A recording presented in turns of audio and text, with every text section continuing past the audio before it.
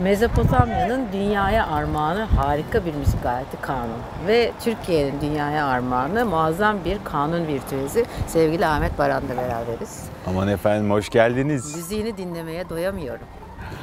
Çok Kanuna- zarifsiniz. Kanuna e, gereken önemi tekrardan e, verdiğin için teşekkür ederim. Çünkü dünyada bir tane müzik aleti çalacak olsam o kanun olsun isterdim. Sayende kanun hani böyle dinleyince uyunur e, kıvamından çıkıp gençlerin bu ne ya dediği bir şey haline geldi. Ne mutlu bunları duy- duymak. Gerçekten öncelikle güzel Mersin'imize geldiğiniz Evini için. açtığın için çok teşekkürler. Ne demek, onur bir duydum. sanatçıyla evinde buluşmak kadar keyifli bir şey olabilir mi? Onun ilham aldığı yerin içerisinde olmak o kadar güzel ki. Bu yolculuk nereden başladı Ahmetciğim? Çocuklukta evde birileri kanun mu çalıyordu? Nasıl oldu? Değil de ut çalanlar vardı, diğer enstrümanlar çalanlar vardı. Bir e, oyuncak bir piyano ile başladı aslında. Benim onda böyle çok ağlamışım. Ailem de haklı olarak demiş ki ya biraz daha büyüyünce hani kırmasın diye bunu vermeyelim şimdi demişler ama sonrasında ben onu demek o dönem Samanyolu'nu duymuşum Berkant'ın. Berkant'ın, evet. Onu çalmaya başlayınca hemen beni tutup e, TRT Çocuk Korosu'na zor yetiştirmişler. Çocuk için Samanyolu da tabii ilginç bir tercih. Evet. E, Ailenin tabii öngörüsü ne kadar kıymetli olmuş burada. Ahmetciğim manzarayı bırakmak çok zor ama içeride e, kanunlarını, ödüllerini görmek de çok isterim. Memnun olurum lütfen. Tabii ki çok sevinirim.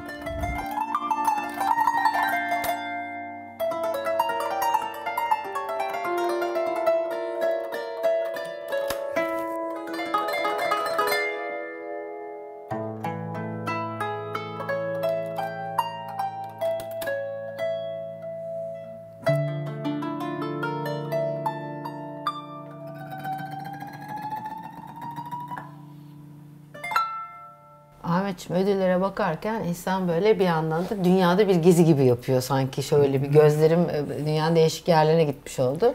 Ee, mesleğin icabı ve yani üstün performans gösterdiğin performansla dünyanın birçok yerine gidiyorsun. Kanun hem görselliği hem işitselliğiyle çok başka bir çalgı Evet. ve çok bizden bir çalgı. Motifleriyle, tınısıyla, e, üzerindeki işlemelerle bir kere gören insanlar bir bu ne acaba? İşte e, lir gibi, arp gibi bir benzerlerini var. Farklı kültürlerde tabii ki görmüş oluyorlar ama Kanunu görünce ilk başta bir konumlandıramıyor, ne çalacağını bilemiyor. Evet. E bu sefer ben bir de gittiğim yerlerde mutlaka işte Costa Rica'ya gidiyorum. Oranın Tico diye bir müziğiyle başlıyorum ve seyircinin ön yargısını kırmaktan yana yapmaya çalıştım. Bu hep çok güzel. için. Ve bu sefer insanlar sizi içine çok rahatlıkla alıyorlar.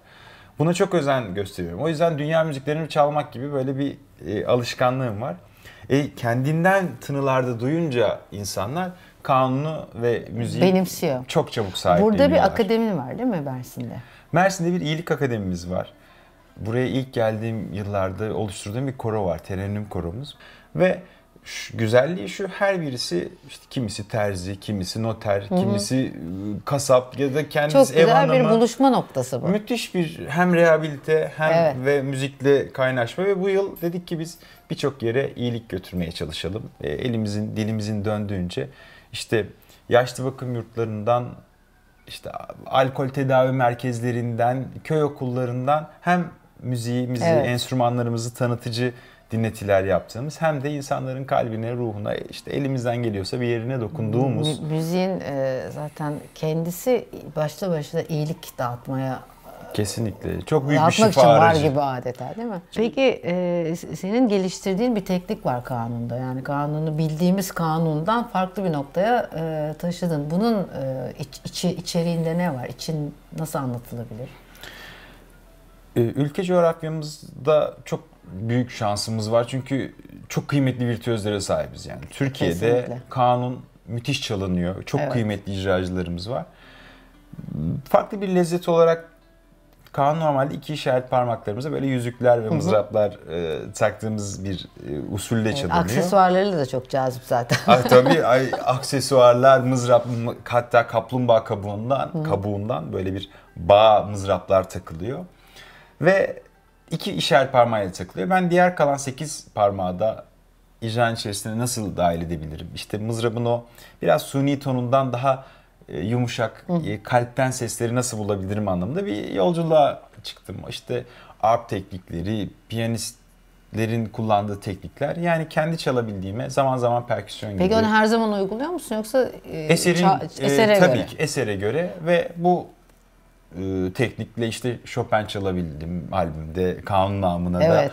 İşte Metallica Kanun çalabildim. adı zaten harika yani. Çok e, son derece esprili ve çok tatlı. Bana bir de elimi kuvvetlendiriyor. Diyorum ki e, burada kanunsuz işler yapılıyormuş. O yüzden ben geldim diye böyle kötü esprilerim çalışıyor birçok konserde.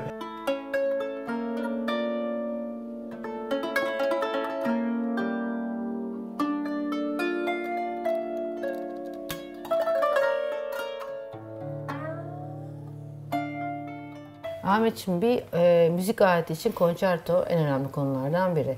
Ve senin adına bildiğim kadarıyla iki tane kanun konçertosu var. E, çok etkileyici. Bununla ilgili e, senin görüşünü almak istiyorum. Çok e, beni de etkileyen bir konu. Çünkü bahsettiğiniz gibi her enstrümanın teknik gelişimi serüveninde Avrupa'ya baktığınız zaman işte bir keman konçertosunda belki 50'den fazla keman konçertosu bulabiliyorsunuz Evet. ve icracı bunun bütün teknik özellikleriyle, bestecinin tarzına göre, tavrına göre enstrümana teknik kapasite sağlayabiliyor. Ama Türk müziği enstrümanlarımız biraz eşlik müziği, e, yani peşrev çalarsınız hep şarkıcıya öncelik sağlamak için. İşte taksim yaparsınız şarkıcı daha rahat girebilsin. Biraz enstrüman müziği dolayısıyla kendisini e, geri plana çekmiş durumdadır. Bu noktada 1952'de Hasan Ferit Alnar'ın Türk beşlerinden e, kendinde kanuni olması sebebiyle yazdığı bir kanun konçertosu var. Ve e, ikinci ve üçüncü kanun konçertoları da şahsıma ithaf edilmesi benim için büyük bir onur tabii ki. O zaman bu konçerto sayılarının artacağını e, şimdiden görebiliyoruz. Çok isteriz tabii ki. Ne kadar artarsa o kadar büyük güzel ve en önemlisi de bunları çalacak icracıların da fazlaca olması e, farklı lezzetler, sizin mutfağınızdaki güzel lezzetler gibi de farklar katacaktır. E, bence senin gibi genç ve dinamik birisinin bu tip bir konuya e, öncülük yapıyor olması kanunun geleceğini çok parlaklaştırıyor. E, yani gençlerin bu konuya bakışı bence öyle yani.